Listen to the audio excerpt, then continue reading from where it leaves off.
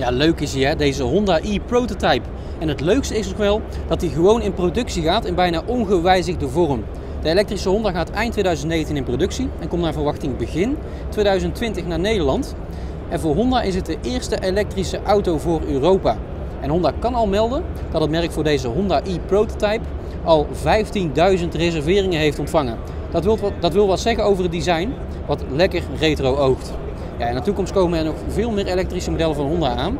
En Honda positioneert deze e-prototype als sportief rijdende elektrische hatchback met naar verwachting dik 200 km range volgens de WLTP testnorm.